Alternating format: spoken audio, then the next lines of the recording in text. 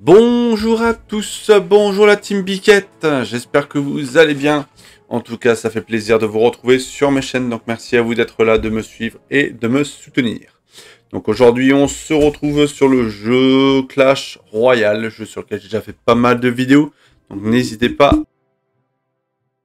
Aujourd'hui, on se retrouve sur le jeu pour vous montrer l'arène 8, donc les cartes que vous pouvez gagner sur l'arène 8 et comment, à peu près, dans quel deck les utiliser pour bien vous en sortir. Donc malheureusement, je crois que je n'ai pas réussi à avoir toutes les, cartes encore du deck de, la Reine 8. Donc je vous montrerai un petit peu comment essayer de s'en sortir avec, si je peux. Et vous faire un petit combat si je peux faire aussi. Alors la première carte que vous aurez gagnée, c'est la méga boule de neige. Donc c'est un sort que vous enverrez sur une zone. Ça permet de tuer, comme vous le voyez, des cibles multiples. Donc ça va des petites cibles multiples, donc c'est assez intéressant, qui volent ou qui soient à terre, c'est pareil. Et ça gèle les autres cibles, donc c'est pas mal en même temps, ça fait double. Ça tue et ça gèle. Donc c'est plutôt pas mal. Euh, après, je sais pas si, euh, niveau euh, diamètre, est-ce que ça prend autant que les flèches? 2,5. Fais voir si c'est autant que les flèches, c'est pas mal.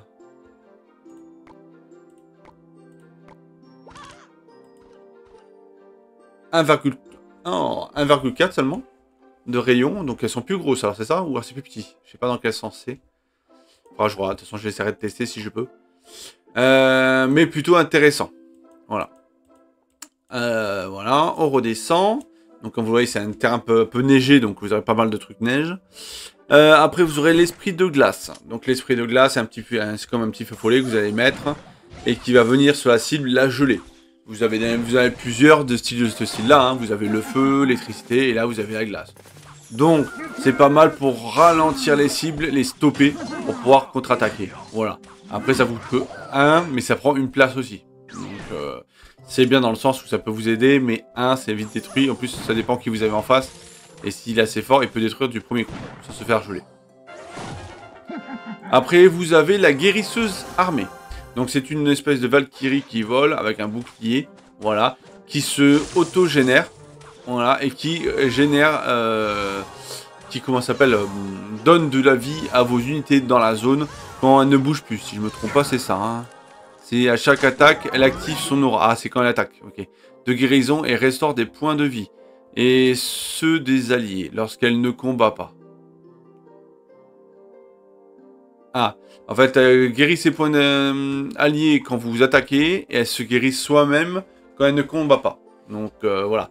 Euh, pour pouvoir la détruire, cette guérisseuse, il faut mettre quand même pas mal d'unités de, dessus pour pouvoir la tuer. Donc ça peut être, peut être intéressante. je vais regarder. Qu'est-ce qui est tapé? Que le sol. Elle fait pas ceux en l'air. mais les longues, ok, je vais regarder si elle avait détruit. Je crois regarder si elle faisait que les bâtiments ou elle faisait les autres guerriers aussi. Elle tape les cibles. Vous voyez là, ça, revient, la vie elle revient. Voilà, ça revient la vie. Et quand elle tape, hop, il y a tout le monde qui se guérit. Donc ça peut être pas mal quand même euh, pour vos unités. Pour tenir le plus longtemps possible.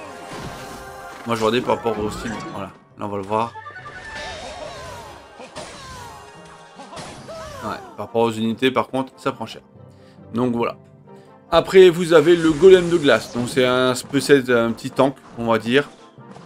C'est un petit tank hein, euh, que vous envoyez. Quand, et quand ça, vous le tuez, ça fait une zone de glace. Donc ça gèle les ennemis. Et ça peut les tuer s'ils sont pas beaucoup de vie. Après, ça vous coûte que 2 de, ressources, donc c'est assez rapide. Après, vous avez le sort foudre. Donc c'est un sort de zone que vous allez mettre qui fait énormément de dégâts. Surtout contre de pas mal de grosses cibles. Les petites cibles, ça dépend où vous le mettez. Vous voyez, ça tue pas trop les petites cibles. Il y en a plusieurs, mais les grosses cibles se font tuer assez facilement. Par contre, il vous coûte quand même 6 euh, de mana. Donc c'est bien, mais c'est du chaud. Après, vous avez exactement le même, vous avez le gel. Donc c'est un sort de zone qui gèle toutes les cibles qui sont dans la zone en question. Donc si c'est mis avant que vous mettez le gel, vous avez de la chance. Par contre, s'il met des unités juste après le gel, vous les aurez pas gelées. Donc c'est à instant T que ça gèle. Après, vous aurez le squelette géant. Donc, c'est un, marche, un squelette gros avec une bombe qui avance vers les ennemis. Ça détruit et les bâtiments et les unités. Et dès qu'il meurt, ça lâche une bombe. Donc, comme vous voyez là, ça va exploser et ça fait pas mal de dégâts autour. Très utile quand vous avez pas mal de cibles en face de vous pour pouvoir les détruire. Bon, après, je vous conseille pas d'être proche de votre bâtiment, sinon c'est un peu chiant. Ça va pas, du dégât, mais pas assez pour, des, pour tuer tout le monde. L'idéal, c'est de, réussir à avancer jusqu'à la tour ennemie et de se faire tuer devant la tour ennemie pour et taper la tour ennemie et détruire tout ce qui est autour. C'est pas mal. Et pour finir, ça c'est une carte de tower. Donc je vais vous montrer que j'ai réussi à gagner, qui est ici, voilà, troupes de tour. Donc les troupes de tour, ce sont les troupes que vous aurez sur votre euh, bâtiment, sur les bâtiments qui sont là. Donc vous avez votre roi, voilà, et vous avez les tours qui sont ici.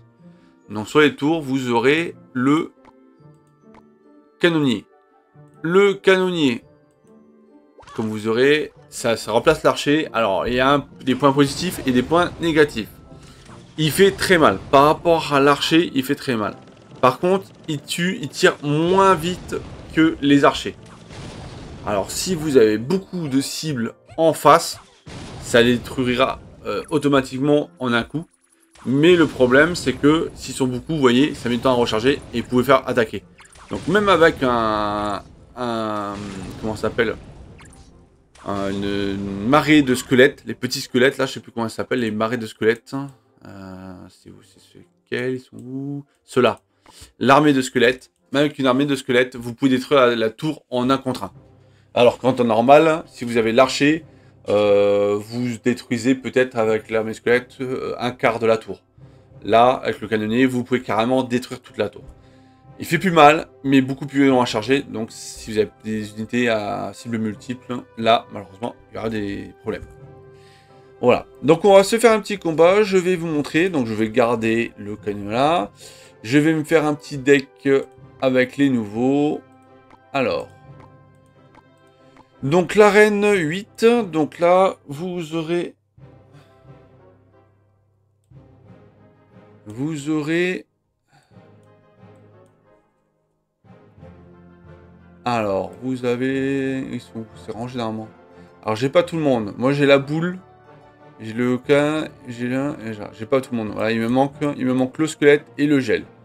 Donc pour le squelette, vu que le squelette coûte quand même 6 élixirs, moi je vous conseille de mettre à côté avec les 6 élixirs, c'est un peu comme le euh, l'autre qui est plus bas, soit le canonnier là, le géant royal, ou alors le géant qui est ici. C'est en gros un peu des tankings, donc c'est un personnage comme ça, et après vous mettez des petits. Donc moi je vous conseillerais, si jamais vous mettez lui, euh, de mettre peut-être le petit PK pour vous aider ou la Valkyrie. Euh, ça paraît utile la, soigneuse, comme ça vous pouvez soigner et lui et tout autour. Donc ça paraît sympa de les mettre ensemble. Surtout que ça vous dégoûte si vous les mettez ensemble. Donc, euh, donc à envoyer. Et après, pourquoi pas des mages. Soit le mage normal, le mage là, le sorcier, ou la sorcière. Voilà. Après, on sort euh, soit les flèches ou peut-être la boule de neige qui peut être pas mal à utiliser. Voilà. Écoutez, je vais vous faire un deck qui pourrait être pas mal avec lui. Et que je vais juste échanger contre un autre. Je vais mettre peut-être lui. Voilà, on va tester comme ça. Hop. Hop. Hop. Voyons ce que j'ai. Voilà. On va mettre, si possible... Alors combien j'ai Je suis à 4 gouttes. Je vais me mettre l'Ortrus, la Valkyrie. Et je vais mettre le sorcier. Voilà. Je suis à 4,1. Et là, vous pourrez changer votre géant. Je trouve que c'est plutôt pas mal. Allez, on va tester ce deck-là. On voir si j'ai de la chance ou pas.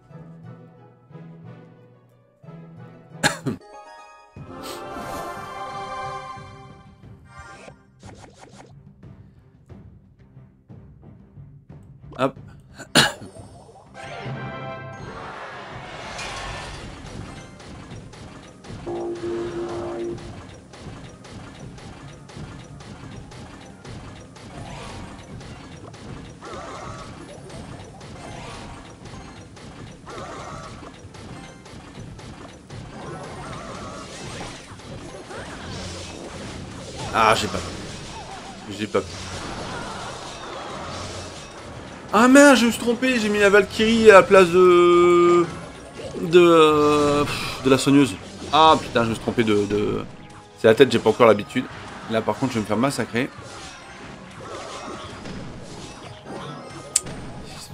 Ah, j'aurais pas dû.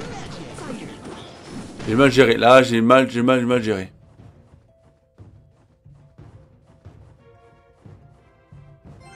Après, malheureusement, le géant que j'ai, il ne détruit que les bâtiments.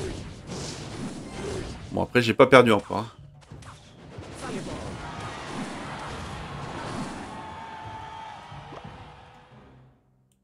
Voilà. C'est sûr qu'il y a le PK par là. Là, l'idéal, c'est que je mette les deux qui sont là. Hop. Et là.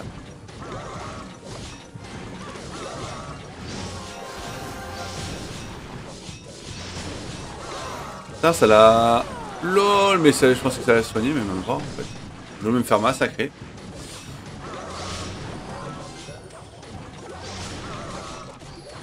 Ah, il a tout contré.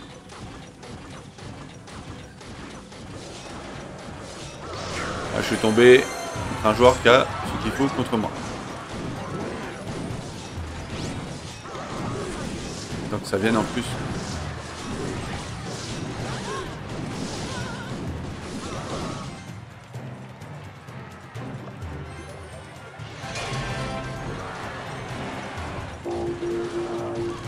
Peux faire mal. Allez, la Valkyrie, elle vient. Soigne. Soigne.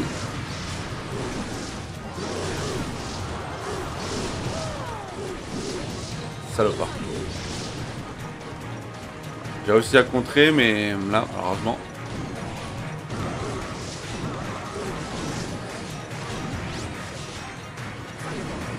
Ça calme. Bon, il a gagné 1-0. J'ai pas réussi à tenir. Dommage. Bon, on gagne pas à tous les coups, hein. Mais vous voyez un petit peu la team que vous pourrez peut-être avoir par rapport au squelette. Après, là, le, problème du squelette, c'est qu'il tape l'ennemi. Donc, il peut faire une bombe. Là, lui, le squelette que j'ai pris n'est pas vraiment adapté parce qu'il attaque pas. Donc, il faudrait, euh, par exemple, ce, l'autre PK, justement, le PK qu'ils ont mis. Celui-ci, par exemple. Voilà. Ce serait plus adapté. Mais mettre, le géant euh, bombardier. Voilà. Euh, sinon après, vous voyez un petit peu, à peu près, bah, c'est les mêmes choses. Hein. Voilà. Vous voyez, j'ai mis la Valkyrie, c'est plutôt le bon deck avec, hein, et la boule, c'est peut-être pas mal. La boule, vous pouvez mettre à presque un, un, peu tout le monde. Surtout si vous la montez assez haut. Voilà. Après, on va tester les autres. Alors là, je vais montrer les autres qu'il y a. Donc il y a lui, la foudre. Donc il y a le gel aussi qui peut remplacer. L'idéal, le gel, c'est de le mettre avec les deux bombardiers ici, qui peuvent attaquer les... Euh, surtout, surtout la, montgolfière, qui peut attaquer les bâtiments, ou tout ce qui est euh, unité qui va attaquer directement les bâtiments, encore à corps, ou même à distance, ça me paraît pas mal. Celui-ci aussi, c'est pas mal. Voilà, avec la glace. Sinon, voilà. Euh, bah écoute, on va mettre PK. Ça. Ça. Ça. Là, j'ai ça, ça, ça, ça. Euh, foudre, on va mettre le neige, le boule de neige que j'ai là. Voilà. Et pour finir, euh, on va mettre les squelettes. Voilà. Voilà le deck que je vous conseillerais de peut-être utiliser si vous voulez mettre les deux qui sont là. Voilà. Allez, on va tester. On envoie le combat.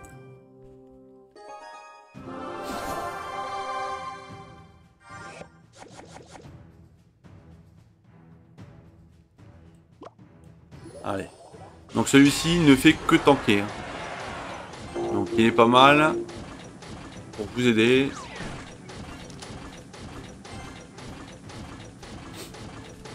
aider au cas où si jamais vous faites attaquer, mais... Euh.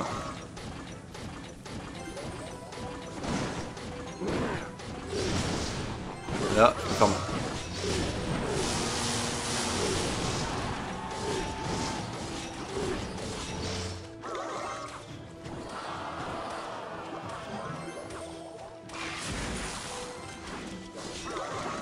Ah merde. Oh, ah oh, bien ça Oh il tue pas? Oh là. Ah ouais il a niveau 13 sans sortir et tout. Il a déjà niveau 13 à sortir. Il a trop d'avance sur moi le mec.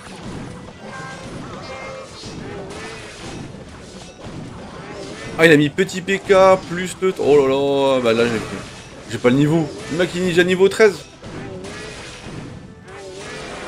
Bon on va recommencer. Une sorcière niveau 13. Avec niveau 10.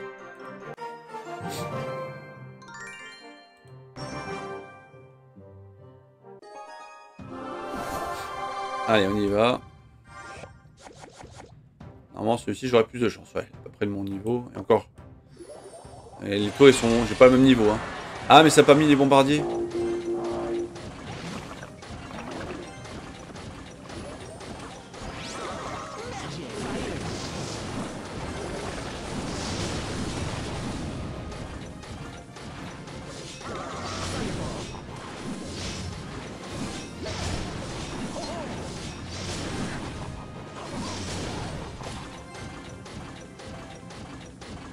J'attends de voir de quoi il joue. Ah, dommage. Mais j'ai réussi à faire quand même des dégâts. C'est mieux que tout à l'heure quand même. Hein, hein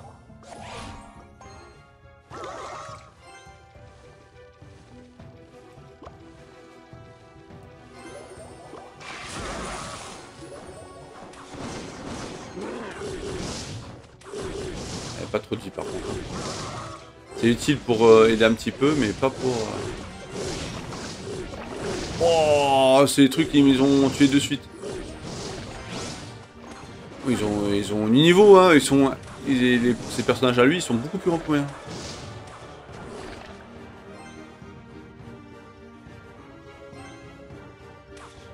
Est-ce qu'il va attaquer Non, il va pas attaquer.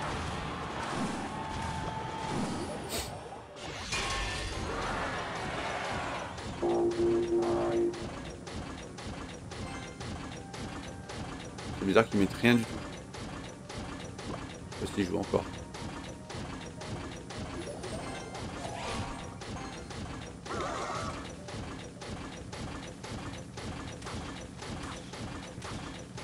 J'ai l'impression qu'il joue. Non, j'ai l'impression qu'il joue. Bon bah écoutez, on va, on va attaquer. Hein. On va se défaire. Et voilà. Victoire. Bon, ouais, un peu donné, hein. Mais j'étais plutôt pas, pas mal. Donc voilà un petit peu le deck que je peux vous conseiller euh, par rapport à ces personnages-là. Voilà. Eh bien écoutez, j'espère que cette vidéo vous a plu. N'hésitez surtout pas à vous abonner, à me laisser un petit pouce bleu sur la vidéo et à cocher la cloche. Ça fait toujours plaisir. Allez, bonne journée à TS et bonne game. Ciao, ciao.